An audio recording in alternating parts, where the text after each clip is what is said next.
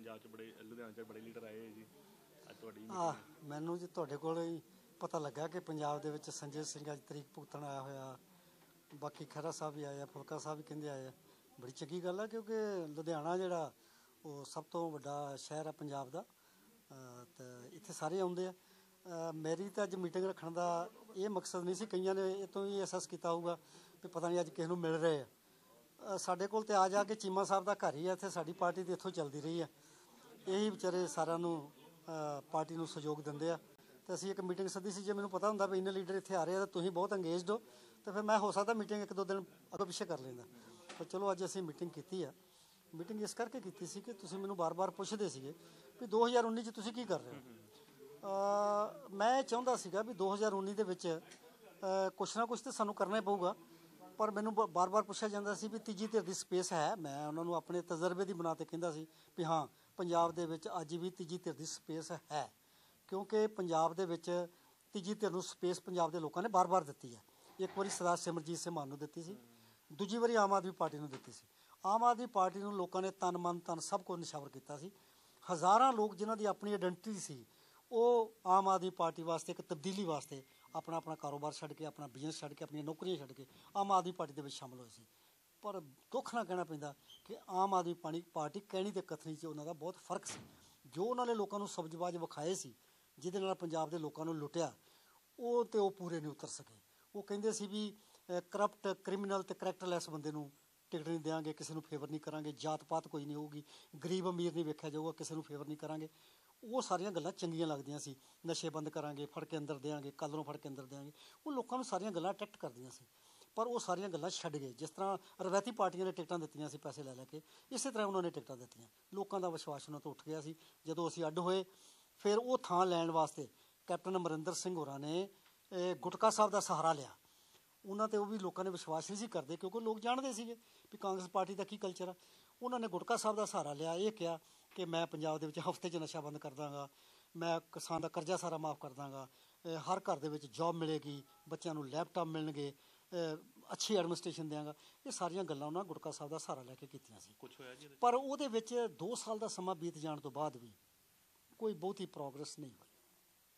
ਇਸ ਕਰਕੇ ਅੱਜ ਤੀਜੀ ਧਿਰ ਦੀ ਸਪੇਸ ਸਟਿਲ ਜਿਸ ਤਰ੍ਹਾਂ ਪਿਛਲੇ ਸਮੇਂ 'ਚ ਪੰਚਾਇਤਾਂ ਦੀਆਂ ਇਲੈਕਸ਼ਨਾਂ ਹੋਈਆਂ ਜਿਸ ਤਰ੍ਹਾਂ ਡੈਮੋਕ੍ਰੇਸੀ ਦਾ ਘਾਣ ਹੋਇਆ ਵਾ ਮੈਂ ਆਪਣੀ 45 ਸਾਲ ਦੀ ਪੋਲੀਟੀਕਲ ਲਾਈਫ ਦੇ ਵਿੱਚ ਇਹ ਕੁਝ ਕਦੀ ਨਹੀਂ ਦੇਖਿਆ।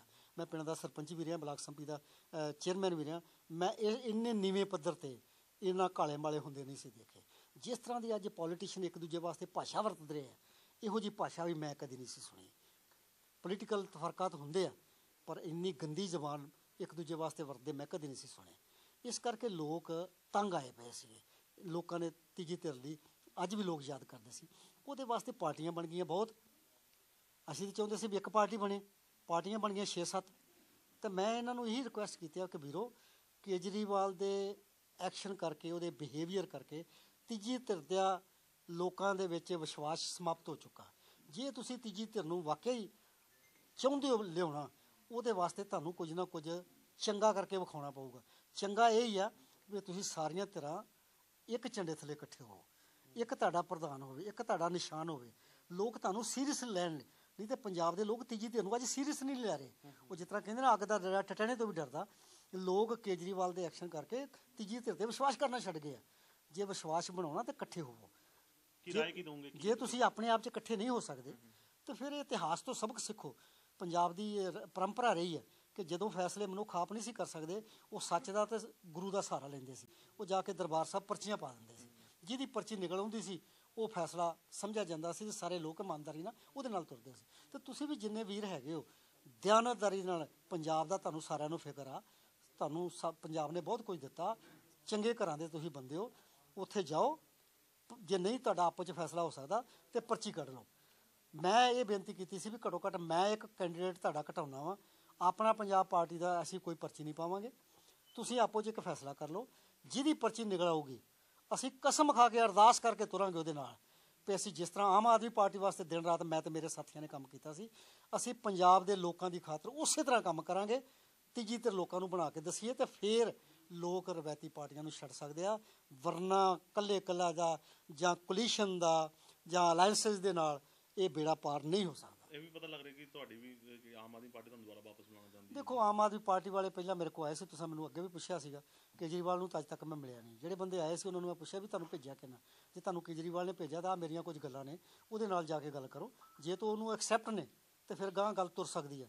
ਤੇ ਜੇ ਉਹਨੂੰ ਐਕਸੈਪਟ ਨਹੀਂ ਤੇ ਫਿਰ ਮੈਨੂੰ ਕੋਈ ਦੁਬਾਰਾ ਆਉਣ ਦੀ ਲੋੜ ਲੱਗਦਾ ਕਿ ਨਾਰਾਜ਼ਗੀ ਕਿਉਂ ਹੈ ਜੀ ਕਿ ਸਾਰੇ ਟੁੱਟਦੇ ਪਏ ਕੇਜਰੀਵਾਲ ਤੋਂ? ਕਿਉਂ ਟੁੱਟ ਰਹੇ ਇਹ ਤਾਂ ਕੇਜਰੀਵਾਲ ਨੂੰ ਚਾਹੀਦਾ ਹੈ, ਜਿਹਦੇ ਨਾਲ ਮੈਂ ਤੁਹਾਨੂੰ ਦੱਸਿਆ ਹਜ਼ਾਰਾਂ ਉਹਦੇ ਬਰਾਬਰ ਦੇ ਬੰਦੇ ਸੀ ਜਿਨ੍ਹਾਂ ਦੀ ਆਪਣੀ ਆਇਡੈਂਟੀ ਸੀ ਦੇਸ਼ ਦੇ ਵਿੱਚ। ਜਿਸ ਤਰ੍ਹਾਂ ਪ੍ਰਸ਼ਾਂਤ ਭੂਸ਼ਣ ਆ ਅ, ਜੋਗਿੰਦਰ ਯਾਦਵ ਆ ਗਾਂਧੀ ਜੀ ਨੇ ਉੱਥੇ ਐਂਕਰ ਸੀ ਮੁੰਡੇ ਉਹ ਕੀ ਆ, ਆਸ਼ੂਤੋਸ਼ ਆ ਹੋਰ ਕਿਹੜਾ ਸੀ ਜੀ? ਕਮਰ ਵਿਸ਼ ਕ- ਕੁਮਾਰ ਵਿਸ਼ਵਾਸ ਹੋਰ ਕਈ ਇਸ ਤਰ੍ਹਾਂ ਦੇ ਬੜੇ ਬੜੇ ਵੱਡੇ ਬੰਦੇ ਆ। ਉਹ ਸਾਰੇ ਖਾਲਸਾ ਜੀ ਸੀ ਜਿਨ੍ਹਾਂ ਦੀ ਆਪਣੀ ਵੱਖਰੀ ਹੋਂਦ ਸੀਗੀ। ਉਹ ਲੋਕ ਸਾਰੇ ਛੱਡ ਗਏ। ਤਾਂ ਉਹਨੂੰ ਸਵੈ ਪਰਚੋਲ ਕਰਨੀ ਚਾਹੀਦੀ ਆ ਵੀ ਇਹ ਸਾਰੇ ਗਲਤ ਆ ਕਿ ਮੈਂ ਗਲਤ ਆ? ਉਹ ਲੋਕਾਂ ਨੂੰ ਤੇ ਇਹ ਐਡਵਾਈਸ ਕਰਦਾ ਵੀ ਜਿਨ੍ਹਾਂ ਨੂੰ ਅਹੁਦੇ ਚਾਹੀਦੇ ਆ ਜਿਹੜੇ ਕਿਸੇ ਲਾਲਚ ਵਾਸਤੇ ਆਏ ਆ ਉਹ ਛੱਡ ਜਾਣ ਪਾਰਟੀ। ਪਰ ਭਲੇ ਮਾਨਸ ਨੂੰ ਇਹ ਸੋਚਣਾ ਚਾਹੀਦਾ ਵੀ ਤੂੰ ਦੋ ਤਿੰਨ ਵਾਰੀ ਅਮੈਂਡਮੈਂਟ ਕੀਤੀ ਆਪਣੀ ਪ੍ਰਧਾਨਗੀ ਵਾਸਤੇ। ਤੂੰ ਪਾਰਟੀ ਦਾ ਕਿੱਥੇ ਤੇਰੇ ਅਸੂਲ ਗਏ ਆ? ਤੂੰ ਆਪੇ ਪ੍ਰਧਾਨ ਆ ਤੇ ਆਪੇ ਮੁੱਖ ਮੰਤਰੀ ਆ। ਤੇਰੇ ਤੇ ਨਹੀਂ ਇਹ ਫਾਰਮੂਲਾ ਲਾਗੂ ਹੁੰਦਾ। ਲੋਕਾਂ ਨੂੰ ਤਾਂ ਉਪਦੇਸ਼ ਹੀ ਬੰਦਾ ਕਰ ਸਕਦਾ ਵਾ, ਜਿਹੜਾ ਆਪ ਉਹਨਾਂ ਗੱਲਾਂ ਤੇ ਪੱਕਾ ਹੋਵੇ। ਜੇ ਬੰਦਾ ਆਪ ਇਮਾਨਦਾਰ ਹੋਵੇ ਤਾਂ ਲੋਕਾਂ ਨੂੰ ਕਹਿ ਸਕਦਾ ਵਾ ਵੀ ਪੈਸਾ ਲੈਣਾ ਜਿਹੜਾ ਪਾਪ ਆ। ਜਿਹੜਾ ਬੰਦਾ ਆਪ ਹੀ ਉਸ ਬਿਮਾਰੀ 'ਚ ਫਸਿਆ ਹੋਵੇ, ਲੋਕਾਂ ਨੂੰ ਕੀ ਐਡਵਾਈਸ ਕਰ ਸਕਦਾ? ਇਸ ਕਰਕੇ ਉਹਨੂੰ ਸਵੈ ਪਰਚੋਲ ਕਰਨੀ ਚਾਹੀਦੀ ਆ ਵੀ ਇੰਨੇ ਲੋਕ ਮੈਨੂੰ ਛੱਡ ਗਏ ਆ, ਕਿਤੇ ਮੇਰੇ 'ਚ ਤਾਂ ਨਹੀਂ ਕੋਈ ਗਲਤੀ। ਇਸ ਕਰਕੇ ਦਾ ਜਵਾਬ ਤਾਂ ਦੇ ਸਕਦਾ। ਅੱਛਾ ਲਾਸਟ ਵਾਲਾ ਜੀ ਮਹਾ ਗਠਬੰਧਨ ਲੱਗਦਾ ਜੀ ਕਾਂਗਰਸ ਨੂੰ ਢਾਹ ਪਾਊਗਾ ਕਿਉਂਕਿ ਕਾਂਗਰਸ ਪੰਜਾਬ 'ਚ ਸੱਤਾ 'ਚ। ਪੰਜਾਬ 'ਚ ਜਿਹੜਾ ਗਠਬੰਧਨ ਹੋਣ ਜਾ ਰਿਹਾ ਵਾ ਢਾਹ ਪਾਊਗਾ ਕਾਂਗਰਸ ਗਠਬੰਧਨ ਦਾ ਮੈਂ ਇੱਕੋ- ਇੱਕੋ ਦੱਸਿਆ ਵੀ ਜੇ ਤਾਂ ਸਾਰੇ ਇਕੱਠੇ ਹੋ ਜਾਣਗੇ ਤੇ ਢਾਹ ਲੈਣਗੇ ਤੇ ਜੇ ਇਕੱਠੇ ਨਹੀਂ ਹੋਣਗੇ ਤੇ ਮੁਮਕਨ ਨਹੀਂ ਹੈ।